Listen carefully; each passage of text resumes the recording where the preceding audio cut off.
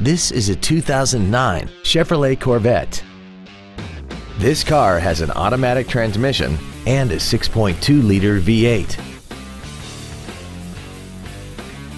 Its top features include keyless ignition, high-intensity headlights, commercial-free satellite radio, a locking rear differential, aluminum wheels, and a tire pressure monitoring system. The following features are also included. A multi-function display, air conditioning with automatic climate control, cruise control, leather seats, an illuminated driver's side vanity mirror, a passenger side airbag, steering wheel mounted controls, an auto dimming rear view mirror, a rear window defroster, and this vehicle has less than 39,000 miles. Please call us today for more information on this great vehicle.